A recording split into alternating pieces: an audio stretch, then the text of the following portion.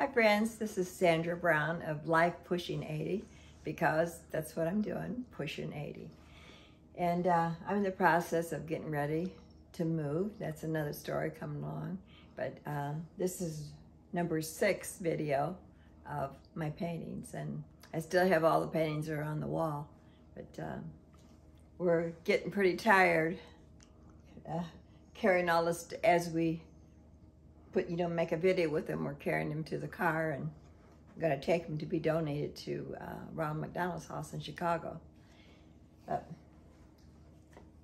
this is a painting I did in 2014. It's an oil. And this is a, a dear friend of mine. She moved from Chicago. And I think I told you about the winter picture I did of her. But her home is over 100 years old. And they went in and renovated it. And they just just have a gorgeous, gorgeous garden. And uh, I had done this for them, and this would be this summer one. And I turned around and did one for spring. Same house, we added a few chickens in here. And the fence and birdhouse. I'm gonna do this rather quickly because we have a whole lot of paintings to do. This is a little further into the summer with the sunflowers. Same house in each one. And I'm gonna give these to Jamie. So if she sees this video, then she knows. This is a little Italian painting in Italy. I hope I'm, I'll hold this up so you can see it good. And here's a couple Christmas paintings I did with poinsettias. I like the way that one turned out. Um, I believe I painted that after taking some lessons with Nancy Medina, but I believe that was one I did on my own. Yes, and this one too was kind of a wild one, just something different the way I painted this. And this was inspired, uh, well, it's Nancy Medina, it's her design. There's another, it has the Christmas bulbs and and they're all in oils. Oh, this is something, oh, I don't know when this was pretty old. Some painting I must have seen on the web and I just gave it a try, but I thought that was so cute. that was in oils also. This one I just made up. There's a black cat on the post. There's a hunter out here with his dog and the picket fence. And this one, I just made this up. It's on a little board. I, I don't know why. Just kind of like the way it turned out with the telephone pole and the wires. The road rising up, the sunset. And this is one I just made up too. it was a teapot that I had and green bottle and bananas, the windows and the flowers behind it in oil. This is one I made up. It was of dogwood. This is kind of a wild one I made up 2015. And I believe, is that a peace lily? Huh? Get me straight if it's not. Some kind of lily, 2015. Um, I live in Crown Point, Indiana, and this is a covered bridge that we have in a park here. And um, uh, everybody loves to go through that bridge. In fact, I'm about due to do that with my little dog. She loves going through there. And this is another covered bridge painting, but this is something I must have seen on the internet and I changed a lot of stuff in it. Hope you can see that good.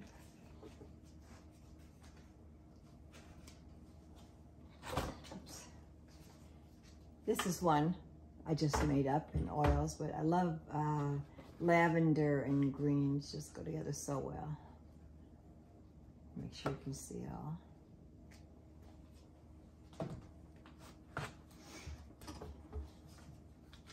This is a small oil painting I did with the sunflowers. I did a lot of this with a knife, painting knife. And there's a little cottage with some wildflowers. They were the wild daisies. In fact, I think those, no, that's the, uh, ah, can't think of those, the, the pink flowers with the cone. Okay, and this is a, uh, one I think, I believe I seen on the internet. It was a covered bridge, 2014 in oils. Okay. And this is, I think it was called The Visit. And this is all, I think it was, uh, it all flowers with the gates here and the dog waiting and the bicycles here and he's visiting. Let's see if we can see all that. Okay. Trying to find a place real quick to put this as we're doing this. And this was a class that I took with Johannes Blutmeyer uh, in 2016 uh, with the pumpkin field and the barns.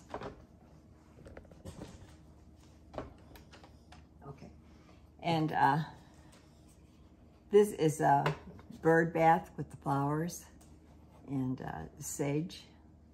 It's these originals. And I had painted a uh, the bridal bouquet on my niece and uh, there were two of them and she had her choice and she didn't choose this one but she took the other one but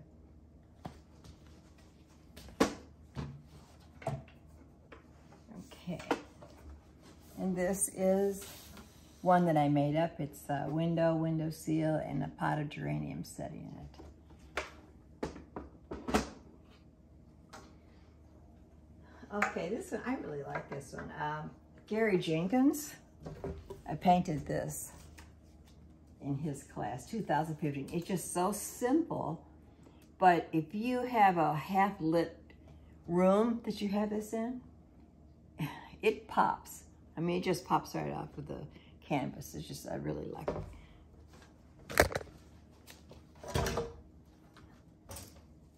Okay, this is a long one.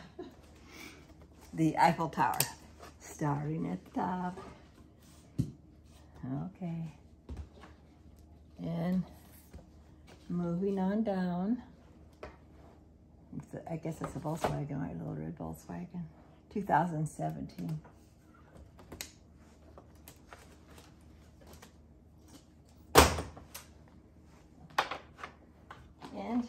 This was in a class I took with Johannes Blutmeyer. That was kind of fun to do. And this is a little cottage window that I just made up with the flowers in 2018 in oils. And I painted a picture of uh, a friend of mine's little twin twin girls. And she, there was two of them. She chose the one, but this is the one she didn't choose, but I still have this. That was in 2015.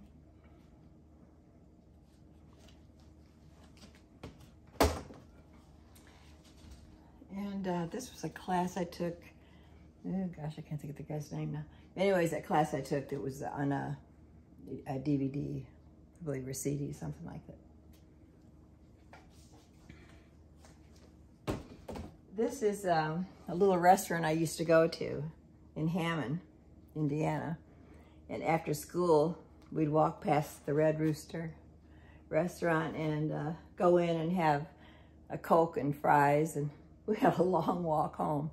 We didn't think nothing of it in those days, but it was just kind of nostalgic. So I wanted it to really stand out. So I painted all this in gray and popped this in the red. This is a fall painting. Pumpkins, the mums, it's original. And these are two sunflowers that look nice hanging together. That's one, 2017. And that's the other one, in oils also. This is Italy. There's something I had seen on the web also in oils. There's one of my older ones. And this is this this is a very it was a, originally a real long painting. I just took this part of it and painted the pumpkin and the other fruit and stuff. 2012 oils again. This was uh, a class I took that was on a CD. Forgetting his name now. Edmondson, yeah. His last name was Edmondson. Uh, this was a, a pear. I, this was kind of fun to do using a knife doing the pear. I love the way the cherries. I'll try to do that close up so you can see it real good. Hope you can see that. Okay.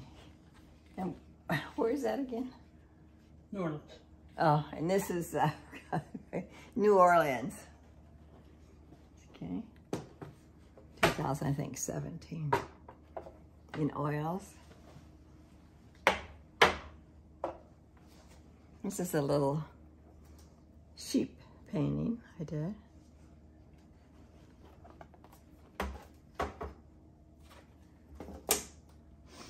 And this was something I, a still life I tried. It was a copper pitcher that I had and a basket and a couple tangerines. It was in the kitchen. And just was, and a lot of this was with a knife. I'll let you see that close up, okay? Those of you who are artists and like to see all the detail.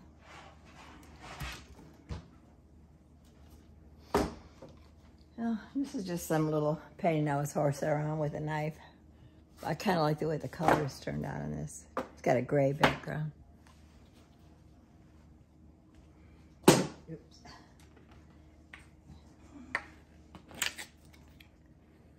This is one I just made up too, 2015. Bale of hay and the crow and the barn.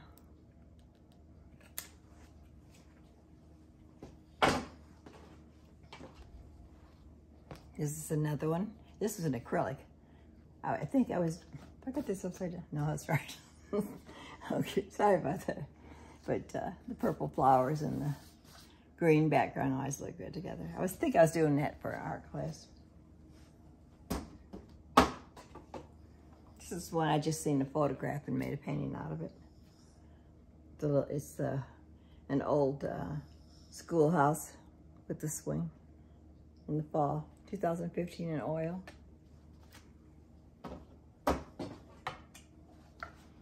Mm, this is one I did for class of Paris. A little hummingbird, 2016 on this nest. London with the telephone booth. Big Ben, I guess.